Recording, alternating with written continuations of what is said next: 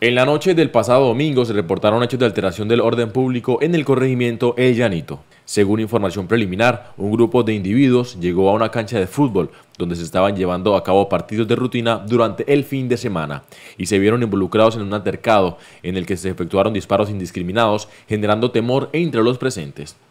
Estos eventos han causado inquietud en la comunidad local, que en ese momento disfrutaba de actividades deportivas y de ocio. Las autoridades han iniciado investigaciones, esto para esclarecer lo sucedido y llevar tranquilidad a este lindo corregimiento del puerto petrolero.